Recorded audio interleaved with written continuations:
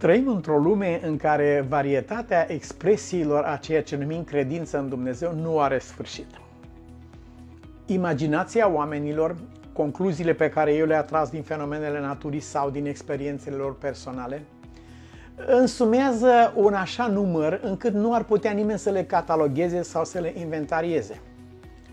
Imaginea noastră despre Dumnezeu, credința noastră în Dumnezeu, vine din una din două surse. Ori vine din părerea noastră despre Dumnezeu și ceea ce ajung să mi se pară sau să văd sau să înțeleg sau concluzia la care ajung devine crezul meu în Dumnezeu sau credința noastră în Dumnezeu se întemeiază pe ceea ce a zis Dumnezeu despre sine, nu pe ceea ce am zis noi despre El. Sigur că n-am să pot să contest sau să neg impresia pe care sufletul meu o are când mi se întâmplă un lucru sau altul.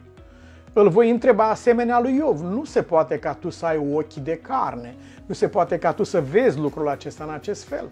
Voi veni ca Moise înaintea lui și voi spune, nu se poate ca tu să iei pe cel nepre... ca Abraham să iei pe cel neprihănit cu cel nelegiuit. Voi veni asemenea lui Moise care spune, nu, nu se poate ca ei să piară, șterge-mă din cartea vieții în cazul că se întâmplă așa ceva, mă, mă simt uh, un conducător eșuat și căzut. Sigur că am să-i spun lui Dumnezeu lucrul acesta.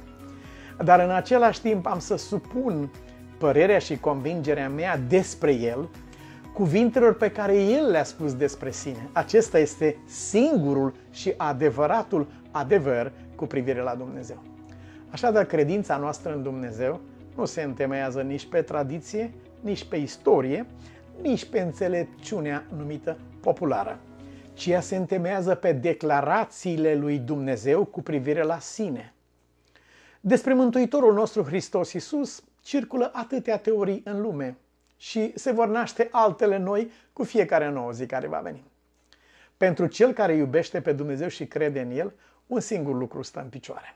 Isus este, nu cine spune lumea, ci cine a zis Tatăl că este.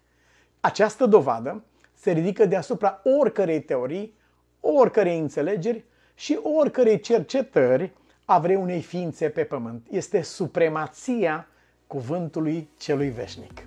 Acesta este Fiul meu în care îmi găsesc toată plăcerea. Despre Duhul Sfânt s-a spus și se vor spune multe lucruri. Și am întotdeauna tendința să-l opresc pe un om din cuvântarea lui și să-l întreb de unde ai luat această convingere pe care o exprimi în fața oamenilor. Și el nu ar avea un alt răspuns de dat decât că este rezultatul cercetărilor mele și înțelegerii mele.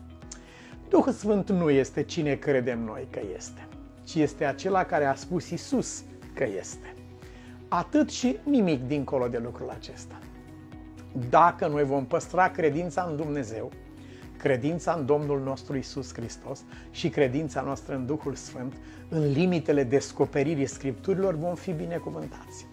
Îndată ce trecem de hotarul acesta și adăugăm cuvintelor pe care le-a spus Dumnezeu despre sine, adăugăm înțelegerea noastră sau concluziile uh, societății și istoriei, îndată ce adăugăm identității Domnului Hristos diverse opinii ale oamenilor numiți învățați sau mai puțin, uh, lângă ceea ce a spus Tatăl despre Fiul, îndată ce adăugăm identității Duhului Sfânt lucruri pe care nu le-a spus Isus despre El și nu rămânem la ceea ce a spus Isus despre Duhul Sfânt, intrăm pe un teren de unde foarte puțini oameni s-au mai putut întoarce.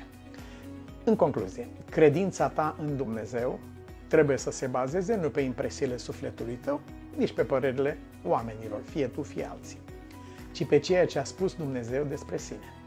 Credința ta în Domnul Hristos trebuie să se bazeze pe ceea ce a spus Tatăl despre Fiul și pe ceea ce mărturisește Duhul Sfânt despre El. Credința ta în Duhul Sfânt trebuie să se întemeieze pe ceea ce a mărturisit Dumnezeu și ce a mărturisit Isus cu privire la Duhul Sfânt. Dumnezeu să ne ajute ca întotdeauna credința noastră în Dumnezeu să se întemeieze pe cuvântul lui Dumnezeu.